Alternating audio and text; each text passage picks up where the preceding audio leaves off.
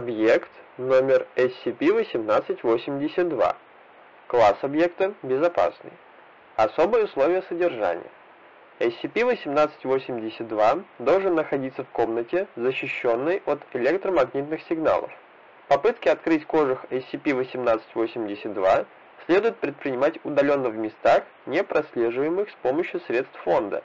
Каждый день исследователь должен определять личность SCP-1882 и делать запись в журнале.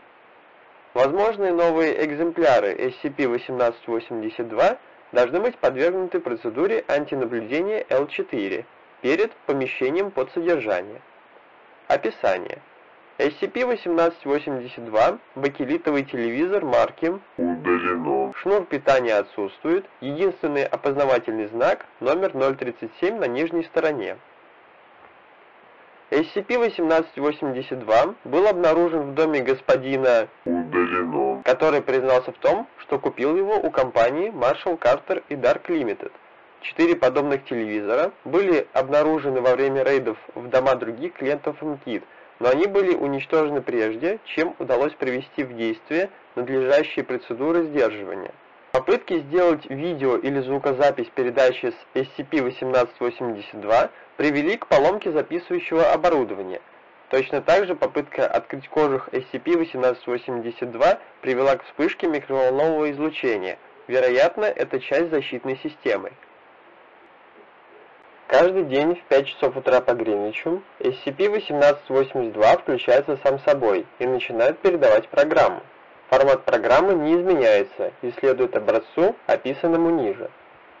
Ровно 5 часов. SCP-1882 включается.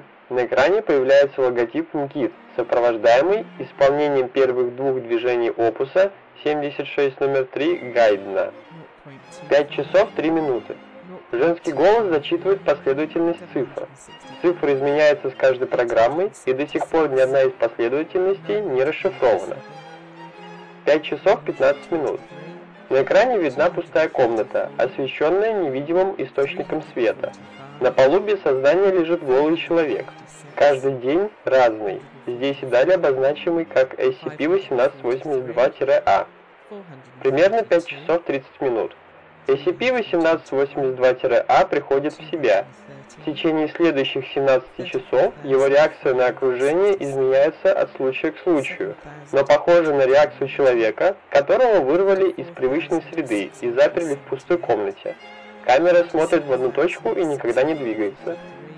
22 часа 10 минут. В этот момент многие SCP-1882-A делали вид, как будто услышали шум снаружи комнаты, хотя зритель ничего не слышит. 22 часа 20 минут. В поле зрения появляется от 3 до 5 особей SCP-1882-B, которые приступают к Удалено. 22.45. SCP-1882-B уходит, оставляя труп SCP-1882-A на полу комнаты. 23 часа. SCP-1882 выключается. Примечательно, что хотя люди из числа обозначенных SCP-1882-A могут быть живы в момент трансляции передачи, доказательств того, что они пропадали неизвестным образом, нет.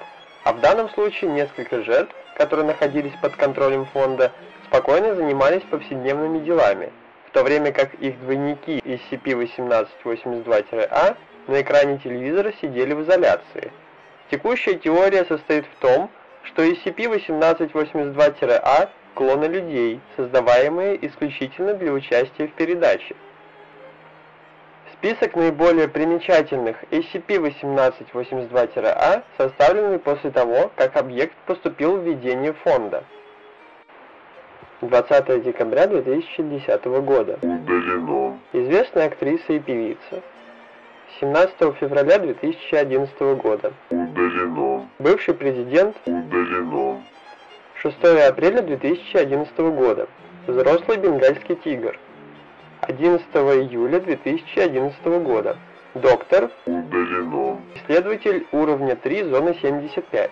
Несмотря на то, что он не знал о существовании SCP-1882, доктор Удалено. предположил, что был захвачен вражескими силами и привел в действие протокол FEB 3.3, что привело к Удалено. SCP-1882 после этого демонстрировал эмблему МКИТ до конца работы. 9 сентября 2011 года. D99221, находившаяся в зоне 65.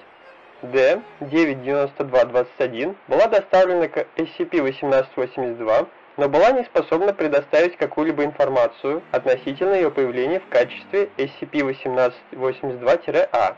Протоколы допроса и психологические экспертизы D99221 прилагаются.